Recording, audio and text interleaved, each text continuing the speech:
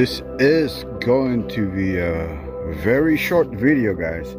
Um, you guys can see here what I did. I trimmed the bottom part and took out all the branches and the leaves. And any new growth there? So the rest of the uh, um, energy will be focused right on top. Uh, this is our Tabasco pepper.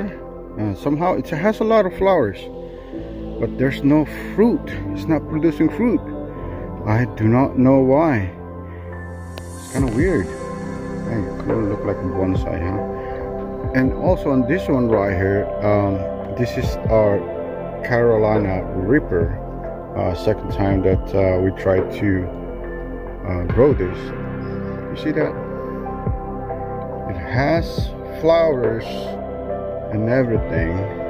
See but there's no fruit as well. I've been fertilizing it watering it good trimming it making sure all the energy is right on top. But again it's not producing any fruit. If you guys know why this reaper is not producing fruit and also our tabasco is not producing fruit please guys i need your advice I'm not an expert on peppers, but uh, let me know why it's not producing any fruit. It has flowers and it just drops. So let me know, guys. Leave a comment.